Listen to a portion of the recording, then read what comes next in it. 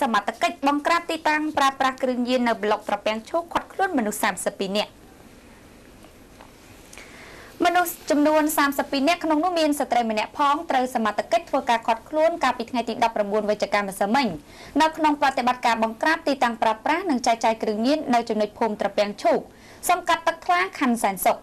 ប្រតិបត្តិការបង្ក្រាបនេះដឹកនាំដោយលោកបនសំអាតស្នងការរងរាជធានីភ្នំពេញលោកសក់ច័ន្ទកញ្ញារិទ្ធអភិបាលរងខណ្ឌសែនសុខនិងលោកម៉ាក់ហុងអធិការខណ្ឌសែនសុខព្រមទាំងមានការសម្របសម្រួលពីលោកកៅសុជាតិ